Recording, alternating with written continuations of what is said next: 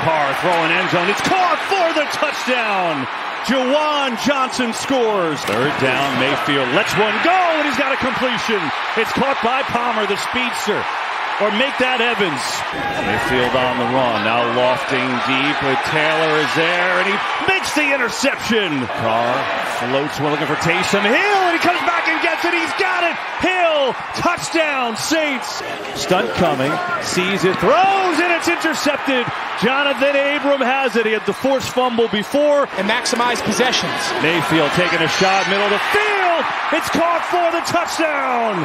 Trey Palmer. Mayfield. Just loading up. Has Godwin wide open. He's got the catch, and Godwin's going to score. And that'll do it. Big win for the Saints as they stay alive in the playoff chase, and the Bucs will have to wait one more week.